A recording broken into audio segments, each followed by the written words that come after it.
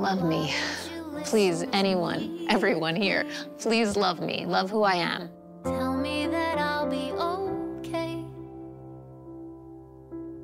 Don't wanna keep all these secrets.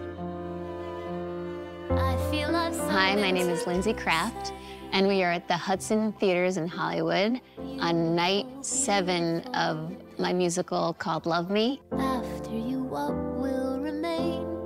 My name's Linda Perry. I'm a producer and a songwriter. Musical director, I would say, is what I what my job was. Why do you Love Me is the story of my life and about a woman discovering who she is through her past relationships. for all my boys? He even paid to freeze my eggs for a few more years because there was like a deal on eggs. Um, it's just like I don't know if that's like what I want. Her experience of trying to find herself, navigating through love, through the heart. She had to go through a lot of broken moments to get to maybe you need to fucking put yourself first instead of letting these guys dictate and tell you who and what you're not. I didn't know how to play music four years ago, but I started to feel like I think I have something more to say than the lines that are being given to me to say. I was at the piano, I would say like six months, 14 hours a day. And now looking back, I was like, oh, that was crazy. You know, for someone who's never written a song before and started writing at 40 years old and decided, oh, I'm gonna play piano, write, write songs, sing, and then, oh yeah, um, while I'm at it, I'm gonna write a musical. It's like Lindsey just saw what she needed to do and just went right for it. And I wanna be a part of people who are driven like that. I would show her the songs and she'd be like, great, great, great, not great, great, great, gr- not great.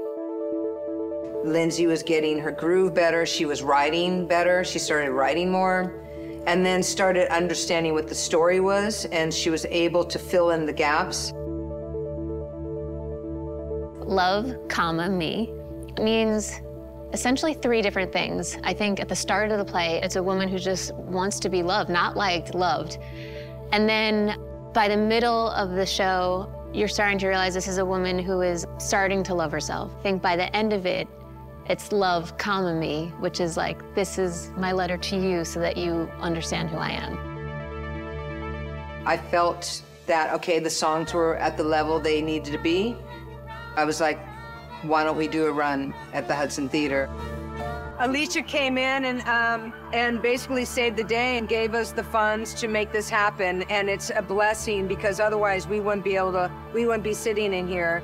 Thank you. So thank you, Alicia, and thank you, pleasure. Feeld. Then after that, it was okay for me to be able to listen and go, okay, what, what's the best way to support her voice and her songs? You know, Lindsey's voice is high, and so I had to get instrumentation that was grounded.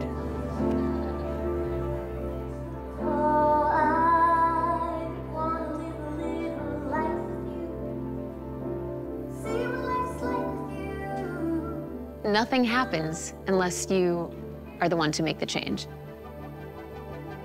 I hope people take from seeing Love Me and hearing Love Me that even if they're, you know, in their 30s, 40s, 50s, 60s, 70s, that it's not too late to change or to discover something new.